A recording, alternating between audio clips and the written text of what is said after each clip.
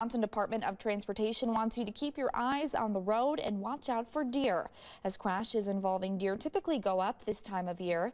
Now through November, you can expect to see more deer, and they are most active during early morning and evening hours. The DOT says last year there were more than 16,000 crashes involving deer in the state. 14 of those were deadly. Waukesha County saw the most crashes with deer in Dane County in second.